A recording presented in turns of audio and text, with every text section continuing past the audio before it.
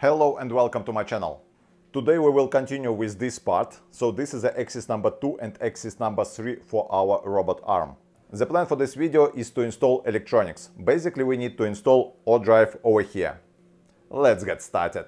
So we need to install ODrive and for this I 3D printed this piece. So as you can see this is ODrive and it fits really nicely over here. Afterwards we will fix it with the screws. To this ODrive we need to connect motors Afterwards, we also need to connect encoders. And this is my encoders. I already mounted them on this 3D printed part and I already soldered this wire.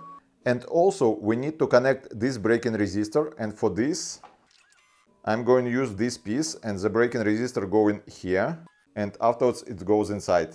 And a drive itself is going underneath of this piece over here. I will start with the soldering of the encoders.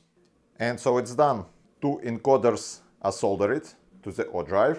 I also assembled uh, this braking resistor and soldered two wires to it. And now I would like to install these two encoders. They are going at the back of the each motor, but in order to install it I need to disassemble some of the parts.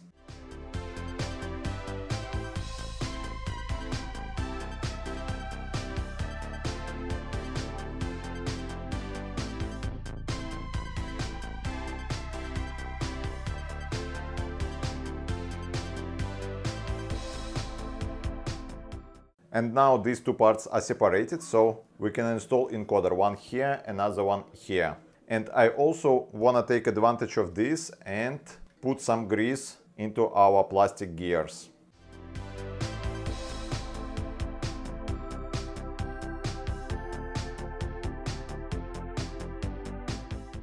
Now both planetary gearbox have the grease, so everything is okay. And now so one encoder goes here, one encoder goes here. Here I already installed the magnet. Here I need to install the magnet. And so this is a small magnet, it comes with the encoder. And I have a special plastic screw for this. So the magnet goes inside, I need to glue it and afterwards it goes here. So magnet is installed and now we can install our encoders. When the two encoders are installed, we can solder the motors, braking resistor, the wires for the power and the wires for the communication. Soldering is finished and now we can assemble everything. This is a communication cable. This is to control the fan. One motor and second motor is connected here. And this is two cables goes to the power.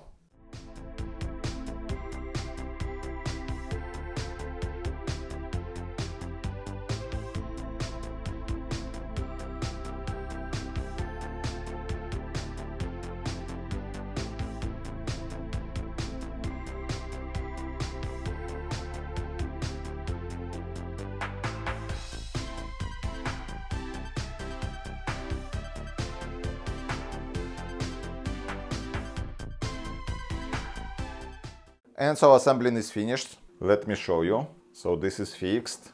Also this one is fixed. This is a hole for the cables for the next link. So through this hole the cables will go here and inside this bevel gear to the next part of the robot arm. So all the cables come in here and just a final touch I can fix this cable with the zip tie. Great! The two C cables, this is a power for the controller, for the ODrive. The two thin cables, uh, red and black, this is a power for the fan. And other three cables, yellow, orange and blue, this is for the communication.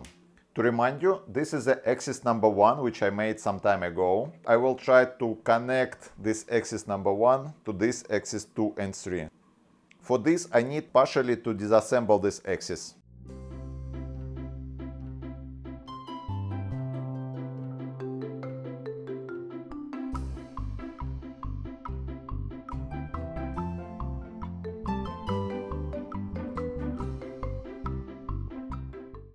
Let me just show you this.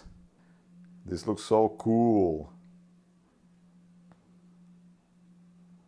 Now we need to fix these two parts with the screws. And now we need to assemble back the axis number one.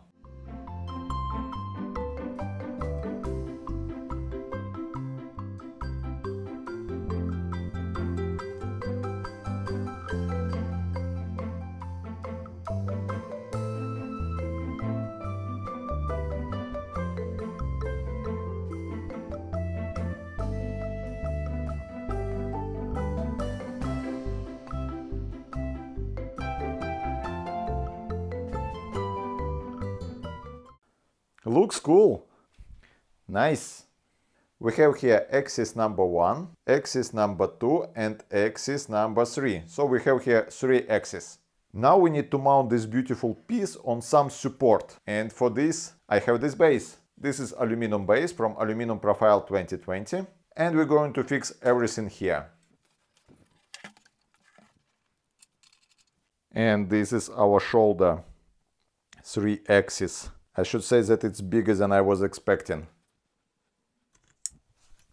Over here I cut it this piece a little bit because otherwise it does not pass because of this screw. But the rest works fine. Let me turn it around. Really huge. Now we need to connect everything. And I finished soldering. So the wires goes inside this box. They coming out. There is this connector and afterwards they are going to this electronics. I showed this electronics in my previous video. Here there is four joysticks. Each joystick has 2 degrees of freedom and so I'm going to use two first joysticks for our 3 degrees of freedom. And this is a cable for fan. I didn't connect it yet. So today we are not going to use cooling. So let's switch it on and see how it works. Haha. First, first there is a calibration procedure. This is the calibration of the axis number one. Another calibration and the last motor calibration. Axis number one. Oh.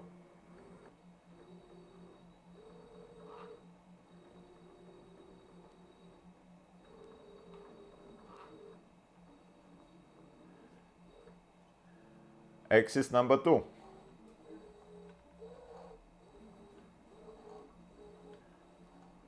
And axis number three.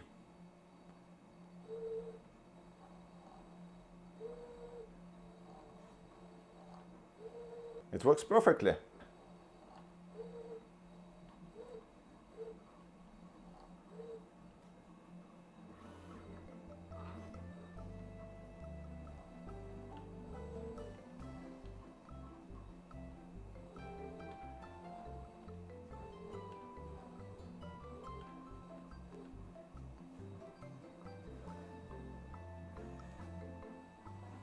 Nice.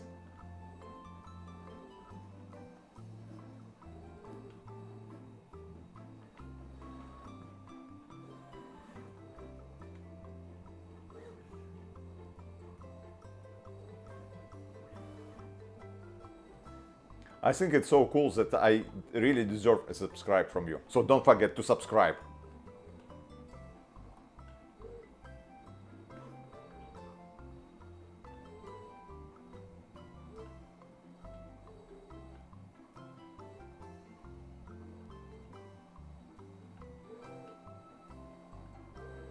Of course this is not a maximum speed. I can make it even faster than this. But I think it's already quite fast. Great! Don't forget to put the like. Thank you for watching this video till the end. I think the end is the most interesting because we saw how it works and uh, for me at least it was super impressive. This project is quite complicated but I really love how it works. It moves very smoothly, no problem. This is really great. So again, don't forget to subscribe to my channel. Don't forget to put the like, one or several comments and if you like it really a lot you can share it in your social media. Also, you can support my channel via PayPal or Patreon, all the links in the description to this video. And by the way, big thank you to my Patreons, here's their names, thanks to them I'm doing this. Big thanks to you all for watching this video and for watching my channel. Good luck with your projects and see you next time!